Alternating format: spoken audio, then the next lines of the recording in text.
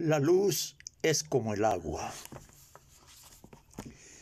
En la Navidad los niños volvieron a pedir un bote de remos. De acuerdo, dijo papá. Lo compraremos cuando volvamos a Cartagena. Totó, de nueve años, y Joel, de siete, estaban más decididos de los que sus padres creían. No, dijeron a coro, nos hace falta ahora y aquí. Para empezar, dijo la madre, aquí estoy. Aquí no hay más aguas navegantes que la que sale de la ducha. Tanto ella como el esposo tenían razón. En la casa de Cartagena de Indias había un patio con un muelle sobre la bahía y un refugio para los dos yates grandes. En cambio, aquí en Madrid vivían apretujados en el piso quinto del número 47 del Paseo de la Castellana. Pero al final ni él ni ella pudieron negarse porque les habían prometido un bote de remos por su setante y su brújula. Si se ganaban el laurel del tercer año de primaria y se lo habían ganado. Así que el papá compró todo sin decirle nada a su esposa, pero era la más gracia a pagar deudas de juego. Era un precioso bote de aluminio con un hilo dorado en la línea de flotación. El bote está en el garage, reveló el papá en el almuerzo.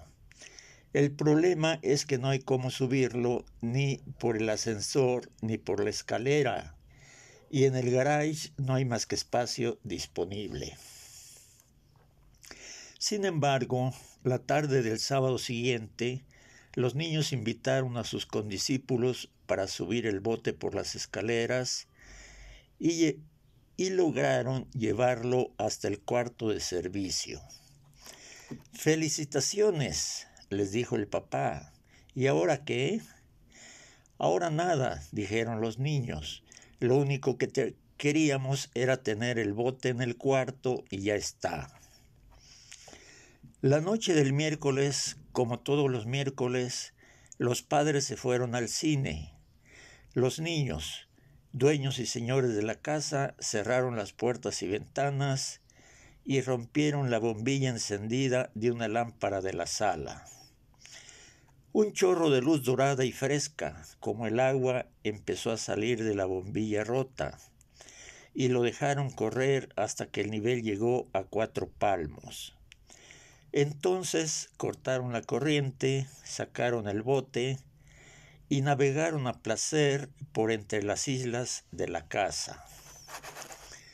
Esta aventura fabulosa fue el resultado de una ligereza mía cuando participaba en un seminario sobre la poesía de los utensilios domésticos. Totó me preguntó cómo era que la luz se encendía con solo apretar un botón.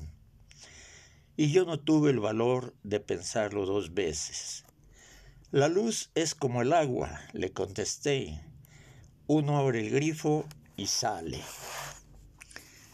De modo que siguieron navegando los miércoles en la noche, aprendiendo el manejo del sextante y la brújula, hasta que los padres regresaban del cine y los encontraban dormidos como ángeles de tierra firme. Meses después, ansiosos de ir más lejos, pidieron un equipo de pesca submarina. Con todo, máscaras, aletas, tanques y escopetas de aire comprimido. Está mal que tengan en el cuarto de servicio un bote de remos que no les sirve para nada, dijo el padre. Pero está peor que quieran tener además equipos de buceo. Y si nos ganamos la gardenia de oro del, del primer semestre, dijo Joel. No, dijo la madre asustada, ya no más. El padre le reprochó su intransigencia, en que estos niños no se ganan ni un clavo por cumplir con su deber, dijo ella, pero por un capricho son capaces de ganarse hasta la silla del maestro. Los padres no dijeron al fin ni que sí ni que no, pero Totó y Joel, que habían sido los últimos en los dos años anteriores, se ganaron en julio las dos gardemias de oro y el reconocimiento público del rector.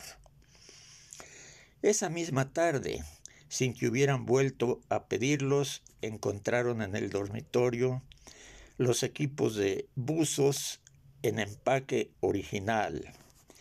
De modo que el miércoles siguiente, mientras los padres veían el último tango en París, llenaron el apartamento hasta la altura de dos brazas, bucearon como tiburones mansos por debajo de los muebles y las camas, y rescataron del fondo de la luz las cosas que durante años habían perdido en la oscuridad. En la premiación final los hermanos fueron aclamados como ejemplo para la escuela y les dieron diplomas de excelencia. Esta vez no tuvieron que pedir nada, porque los padres les preguntaron qué querían. Ellos fueron tan razonables que solo quisieron una fiesta en casa para agasajar a los compañeros de curso. El papá, a solas con su mujer, estaba radiante. Es una prueba de madurez, dijo. Dios te oiga, dijo la madre. El miércoles siguiente, mientras los padres veían la batalla de Argel, la gente que pasó por la castellana vio una cascada de luz que caía de un viejo edificio escondido entre los árboles. Salía por los balcones, se derramaba a raudales por la fachada y se encauzó por la gran avenida en un torrente dorado que iluminó la ciudad hasta el Guadarrama. Llamados de urgencia, los bomberos forzaron la puerta del quinto piso y encontraron la casa rebosada de luz hasta el techo. El sofá y los sillones forrados en piel de leopardo flotaban en la sala a distintos niveles. Entre las botellas del bar y el piano de cola y su mantón de Manila, que aleteaba a media agua como una mantarraya de oro. Los utensilios domésticos, en la plenitud de la poesía, volaban con sus propias alas por el cielo de la cocina. Los instrumentos de la banda de guerra que los niños usaron para bailar flotaban al garete entre los peces de colores liberados de la pecera de mamá que eran los únicos que flotaban vivos y felices en la vasta ciénega iluminada. En el cuarto de baño flotaban los cepillos de dientes de todos, los preservativos de papá, los pomos de crema y la lentadura de repuesto de mamá, y el televisor de la alcoba principal flotaba de costado todavía encendido en el último episodio de la película de medianoche prohibida para niños. Al final del corredor, flotando entre dos aguas, Totó estaba sentado en la popa del bote, aferrado a los remos y con la máscara puesta, buscando el faro del puerto hasta donde le alcanzó el aire de los tanques y Joel flotaba en la proa buscando todavía la altura de la estrella polar por el sextante. Y flotaban por toda la casa con sus 37 compañeros de clase, eternizados en el instante de hacer pipí en la maceta de geranios, de cantar el himno de la escuela con la letra cambiada por versos de burla contra el rector de beberse escondidas un vaso de brandy de la botella de papá, pues habían abierto tantas luces al mismo tiempo que la casa se había rebosado. Y todo el cuarto año elemental de la escuela de San Julián, el hospitalario, se había ahogado en el piso quinto del número 47 de Paseo de la Castellana. En Madrid de España, una ciudad remonta de veranos ardientes y vientos helados, sin mar ni río y cuyos aborígenes de tierra firme nunca fueron maestros en la ciencia de navegar en la luz.